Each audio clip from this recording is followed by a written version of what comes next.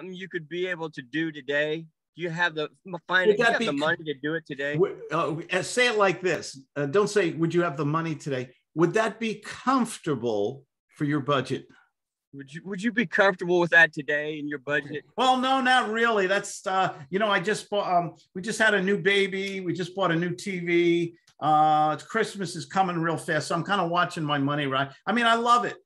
Um, and if money wasn't the, an issue right now, I'd, I'd give you a card in a second. But I'm, you know, with the new baby and everything, we're watching our money right now. Certainly, I understand, and uh, I appreciate the fact that you you're on top of your finances. And maybe this is not for you. Uh, I tell you what, though, um, on certain conditions, he has been willing to, you know, make some exceptions and help you out with that. Uh, what would you feel comfortable, you know, today if you were able to make something uh, work for you? Okay. What kind of money are you working with today? Okay, timeout off the role play. What you can use is a guts move now. You okay. did that. You did that well, but we can make that even better. You can say sure. something like, you know, um, I, I, you know, I speak with Claude on a regular basis. Truth. Always tell the truth. By the way, you don't have to lie uh, yeah. about anything. Um, just tell. I, you know, I speak with Claude on a fairly regular basis. I, you know, um, I, I could ask him a personal favor if he'd finance this for you at zero interest. You put something down today maybe half down or whatever's comfortable for you. And then we split it up into two, three payments, or that wouldn't make a difference, would it?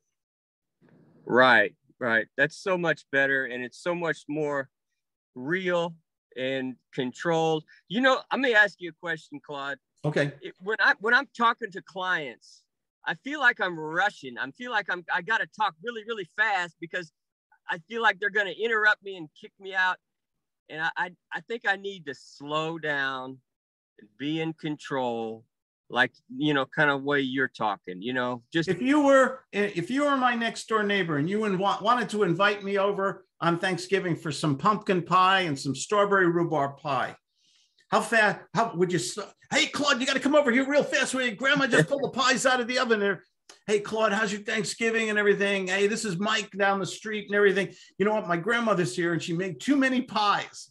Do you like pie, Mike? Yeah, oh, yeah. Oh, I've got a pumpkin pie, fresh made.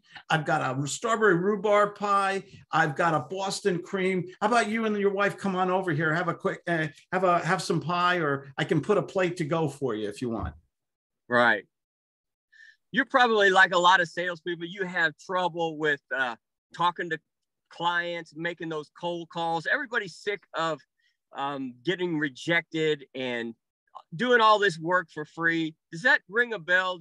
Are you having any of those issues, Claude? Yeah. Off, the, off the role play. That was a great question. Tell them that you have that problem too. I have that problem. You know, I, I don't know about I don't Mike. I don't know about you, but I had a problem in sales. Um, you know, I, I I didn't like the rejection and and bothering people and stuff like that. And but you know we're all we're, we're both in sales. How do you how do you learn how to build your confidence and and get people to trust you? Um, are you are you utilizing a system right now to overcome those kind of challenges that i had? You don't have those problems do you? And then if i if they did how am i going to transition? Okay now i'm the expert but i've just asked him to help me i found a solution I found this. I found a solution. You know what? I found this guy uh, online. Tell the truth. The truth is wonderful. Do you know why? You know, uh, you don't have to be a. I, you know, I say you have to be a psychologist and a thespian. The thespian thespian part is easy if you're telling the truth. You're just reliving uh, the things that really happened.